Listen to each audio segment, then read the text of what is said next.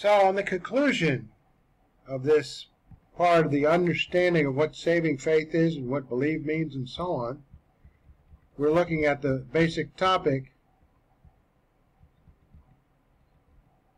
figures of speech referring to saving faith or faith in general because you can say, I, I think you're right. That's a, a figure of speech saying, I believe what you're saying is true. Think of many ways you can explain that. You say, Amen. Somebody says something, you say, Amen. That's a statement of saying, I believe what you're saying. Thank you. Just the word thank you for telling me that. You've accepted what they said. Can you give me directions to so and so? I'll give you directions. Thank you. You believe the directions are right, and you go ahead and and, uh, and do what they say you should do in order to get to that destination. Take the so and so bus and so on. Okay, so the conclusions of these figures of speech. These pictures of faith all denote receptivity, agreement, or trust. All are essentially simple activities and essentially passive None communicates the idea of merit, work, effort, or achievement. Neither do they communicate an exchange of one's life or the ongoing submission of one's life to Jesus as master in order to obtain eternal life. That's with the view to eternal life. They just believe the information that is given to you in order to have eternal life. Now, the condition the information, like in John 3.16, is God gave his one only son. Implication being, because of the context, payment for your sins. That's it. That's the only condition. Those are the facts that you are to believe or the maintaining uh, information. That's what information you are to accept as true, and then you have eternal life. When we observe the clear statements in John about the condition for salvation, the effect of this condition, and the pictures of this condition, we conclude that John presents faith alone in Christ alone as the only condition for salvation unto eternal life. Unto eternal life, because you have the other temporal salvation, which requires something a little bit different. you believe that Jesus will rescue you. Well, you have to give him information about what you need to be rescued by sometimes. Uh, the condition that Christ died for your sins is going to give you the result of eternal life. The condition that God will hear your prayers uh, in certain circumstances, that's a different context. But the, the faith that he will save you after presenting the information of what you need to be saved from in this temporal life is in view. So it is extremely significant that we do not see qualifiers with the word believe. John does not condition salvation unto eternal life. That's important qualification here. Unto eternal life. On whether one really believes or truly believes. If you believe something, it's real. It's true. That what you believe. Whether or not what you believe is going to get the re intended result, whether the information that you believe in is correct is another issue but it's a true belief. It's an actual, real life acknowledgement of something that is true. May not be true. Neither does he speak of genuine faith, or real faith, or effectual faith. There's only one kind of faith. One that either believes in something or he does not. Is that something accurate? The key here is therefore those who speak of spurious faith or false faith or psychologizing faith as the scripture neither does nor provides a basis for doing. you get the gospel right. Should be easy. dozens and dozens of places in the Bible tell you Jesus Christ died for your sins. Do you believe that? Yes, you have eternal life. So you have a belief, accepting something is true, and you have an accurate accounting for what you need to believe in order to get the intended result eternal life. So in contrast, John does use qualifiers to distinguish the real from the fraudulent in other concepts. He speaks of the true light, true bread, true vine, true worshippers, and true God. When he shows that even the unsaved can be referred to as disciples, he later calls the saved to adhere to his word disciples indeed. Neither do we find condition for salvation stated as surrender or commitment of all of one's life to Jesus as master. That's a lifelong thing, and it's it's um, only momentarily at best by the grace of God because you're not going to be perfect in anything you think, say, and do in this mortal life. Salvation is totally and absolutely free and is not conditioned on human merit. It is what one receives, not earns, merits, or barters for. What verse do you think that's good? Two verses. Acts, uh, Ephesians 2, 8, 9. For by grace you have been saved through faith, saved without merit. And that salvation is not earned, is the gift. Gifts aren't earned. It's free. Gift of God, not by works, so you don't earn it or barter for it, lest anyone should boast. So, it will be given freely to whoever asks. And here is John 4:10, explaining that. Jesus answered and said to her, If you knew the gift of God, and who it is who says to you, Give me a drink, you would have asked him, and he would have given you living water. So the issue is not the quality or quantity of an individual's faith, but to whom that faith is directed, which will produce eternal life. If it is directed toward Jesus Christ, you have eternal life.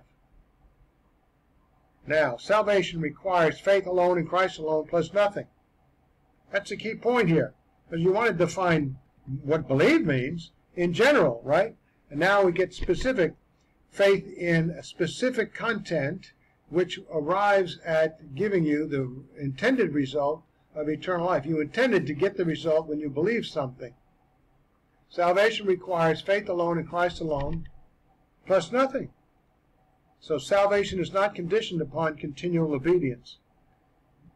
And Pastor Bing goes on to say, similarly, we do not find salvation continued on or we will result in continual obedience.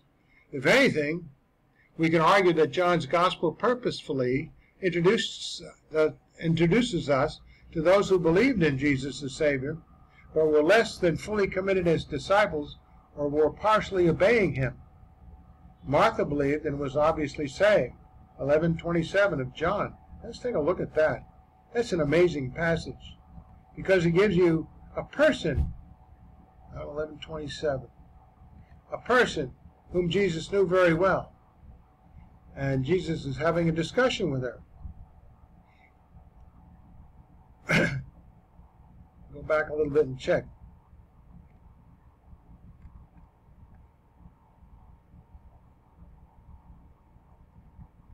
The disciples then said to Jesus, Lord, if he has fallen asleep, he will uh, Lazarus, he will recover. Now Jesus had spoken of Lazarus' death, but they thought that he was speaking of literal sleep. So Jesus then said to them plainly, Lazarus is dead, and I am glad for your sakes that I was not there, so that you may believe, but let us go to him. Therefore Thomas, who is called Didymus, said to his fellow disciples, Let us also go, so that we may die with him. So when Jesus came, he found that he had already been in the tomb four days. Now Bethany was near Jerusalem, about two miles off, and many of the Jews had come to Martha and Mary to console them concerning their brother's recent death. Martha, therefore, when she heard that Jesus was coming, went to meet him, but Mary stayed at the house. Martha then said to Jesus, Lord, if you had been here, my brother would not have died. Even now I know that whatever you ask of him, God will give you. Jesus said to her, Your brother will rise again. Martha said to him, I know that he will rise again in the resurrection on the last day. She had some good insights here. She was listening to Jesus uh, preach. Jesus said to her, listen to this. Jesus said to Martha, I am the resurrection and the life. He who believes in me will live even if he dies. And everyone who lives and believes in me will never die. Do you believe this? He said to Martha. Wow. Jesus, she said to him, Martha said to Jesus, Yes, Lord, I have believed that you are the Christ, the Son of God, even he who comes into the world. All these amazing titles, the Christ, the Son of God, he who comes into the world. We're looking at Jesus Christ's propitiation for the sins of the whole world, the Son of God, the Son of Man. And she knew this. When she had said this, she went away and called Mary her sister saying secretly, The teacher is here and is calling for you. So, what was presented here for Martha to do, she already stipulated ahead of time. Believe. So, Martha believed and was obviously saved, John 11:27, which we just read. And we can assume Mary and Lazarus were too. But there is no indication that she followed Christ in the full sense of leaving home and family. She was there in the house. Less than full confession and commitment are also found in the secret disciple Joseph of Arimathea. Some would argue that Nicodemus was also in this category. In addition, the Jewish rulers mentioned in John 12:42, they believed in Christ but did not confess him publicly for fear of being ostracized by the other Jewish rulers. Yet nothing in Scripture indicates that they were not truly saved, and John 1, 12 to 13 stipulates that anyone who believes is. Remember John 1, 12 to 13. John has a, marvelous way about writing, and especially the gospel. Keeps it direct and to the point, using the same words so that you understand that you can't mess it up by turning one word against another, uh, taking an alternate meaning, and this is an additional step you have to take. It just gives you believe, but as many as received him. What does received means? That's an interesting word which we looked at. To them he gave the right to become children of God, even to those who believe in his name. That last phrase there says to receive him, yet to believe in his name, who were not who were born then, not of blood, nor of the will of the flesh, nor of the will of man, but born of God. So you believe, you receive. That's it. Believe he died for your sins. Next point, faith unto eternal life does not need works added to it in order to become faith and affect the result of eternal life. Ephesians 2 8 9. For it is by grace you have been saved through faith. And this salvation is not from yourselves, it is the gift of God. I, I wrote salvation in the in the brackets there because this is neuter, touto in the, in the Greek. Touto is neuter. Faith is is feminine. So the only thing that's left is the subject that we're talking about, saved, salvation, and that's neuter. Not from yourselves, it is the gift of God, not by works, so that no one can boast. So, since salvation is by faith, and since salvation is not by works, says, not by works.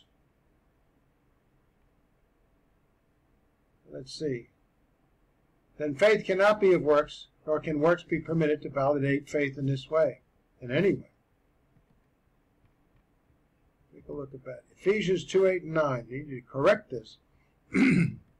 Great verse to memorize. For by grace you've been saved through faith, and that not of yourselves is the gift of God, not as a result of works, so that no one can may boast.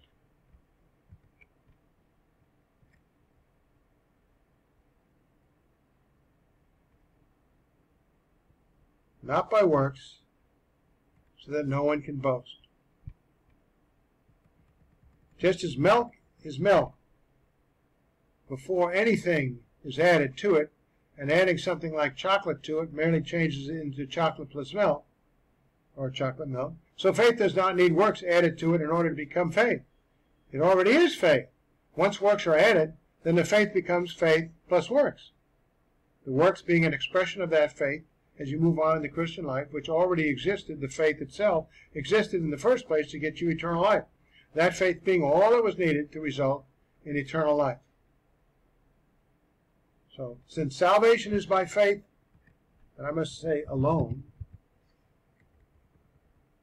and since salvation is not by works, it is a gift. And not of yourself. Then faith cannot be of works, nor can works be permitted to validate faith in any way. and it's